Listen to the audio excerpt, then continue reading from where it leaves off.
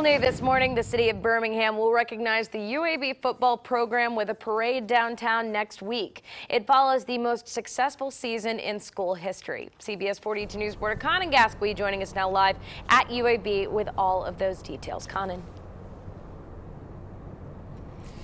Well, guys, I'm here at the UAB football facility, and this is where the parade is going to wrap up next Friday, where people from all over the city are going to come out to celebrate everything the Blazers have accomplished in this season. It was year two since their return to football, and a fantastic season. 11 wins, a school record, also the Conference USA title, and a big win in the Boca Raton Bowl. They'll be celebrating all that next Friday. I spoke with the Birmingham City Councilor about what it means to support this team.